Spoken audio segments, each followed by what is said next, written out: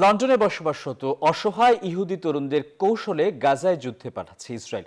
আর এই কাজে সহায়তার অভিযোগ উঠেছে ব্রিটেনের একটি মানবিক সহায়তা সংস্থার বিরুদ্ধে। এমন অভিযোগের তদন্ত শুরু করেছে দেশটির মানবিক সহায়তা সংস্থা কমিশন। মিডল ইস্ট আইয়ের প্রতিবেদনে উঠে এসেছে এমন তথ্য। বিস্তারিত ফারুক হোসাইনের রিপোর্টে। পুরো মধ্যপ্রাচ্যকে টালমাটাল করে তুলেছে ফিলিস্তিন ইসরায়েল যুদ্ধ। প্রতিদিনই প্রাণ হারাচ্ছে অসহায় ফিলিস্তিনিরা।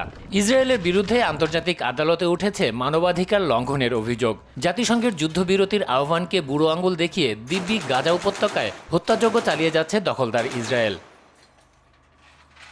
পশ্চিমা শক্তির উস্কানি আর সহায়তা নিয়েও ফিলিস্তিনি গেরিলা হামাসের সাথে পেরে উঠছে না নেতানিয়াহু বাহিনী। এবার ব্রিটেনে বসবাসত পারিবারিকভাবে বিচ্ছিন্ন, নেশাগ্রস্ত, নিঃসঙ্গ তরুণদের টাকার প্রলোভন দেখিয়ে কৌশলে ইসরায়েলি মিলিটারির আইডিএফ শাখায় যুদ্ধে পাঠানো হচ্ছে। অভিযোগ হলো, এই কাজে সহায়তা করছে লন্ডনে অবস্থিত বয়েজ ক্লাব হাউস নামে একটি দাতব্য সংস্থা, যাদের কাজ হলো পরিবার থেকে বিচ্ছিন্ন, অসহায় তরুণদের পুনর্বাসন করা। সংস্থাটি বেসরকারি অনুদানে এই সেবা প্রদান করে থাকলেও ইসরায়েল যুদ্ধে তরুণদের উৎসাহিত করায় নড়ে চড়ে বসেছে ব্রিটিশ মানবিক সহায়তা সংস্থা নিয়ন্ত্রণ কমিশন। মধ্যপ্রাচ্য ভিত্তিক সংবাদ মাধ্যম মিডল ইস্ট আইয়ের এক প্রতিবেদনে এ তথ্য প্রকাশ করা হলে ওই প্রতিষ্ঠানটির বিরুদ্ধে তদন্ত শুরু করে কর্তৃপক্ষ। প্রতিবেদনে একজন ব্রিটিশ ইহুদিকে দখলকৃত গাজার একটি বাড়িতে অস্ত্র হাতে কথা বলতে দেখা যায়। লেভি সাইমন নামের ওই তরুণ তার সামাজিক যোগাযোগ মাধ্যমে ওই পোস্টটি করেন।